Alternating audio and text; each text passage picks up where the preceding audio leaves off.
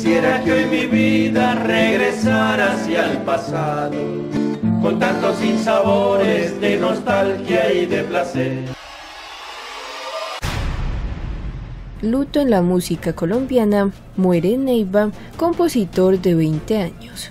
Álvaro Córdoba Farfán murió a los 87 años luego de dejar un importante legado de más de 300 canciones a la música colombiana. Sus temas están siempre presentes en cualquier serenata.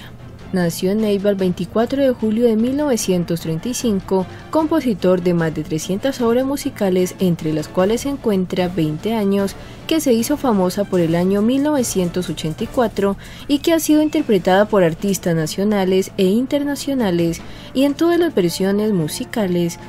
A esta obra musical se suman otras de gran importancia como Soy Opita, Colombia con Amor, Mis Nietos y La Avalancha tuvo un problema de neumonía, lo que le acarreó un sinnúmero de enfermedades más que lo llevaron hasta la muerte, explicó su hijo Álvaro Córdoba Rodríguez.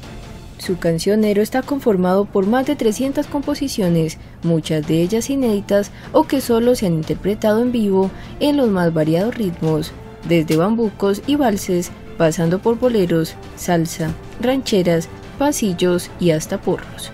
Otras composiciones famosas de su autoría son Tus 15 primaveras, Tío, Larandia, ¿Por qué te dejé? Frente al altar, Ofrenda de amor y Huellas del pasado, entre muchas otras más. Conocida la noticia de su muerte, amigos, colegas y seguidores inundaron las redes sociales con mensajes de condolencias.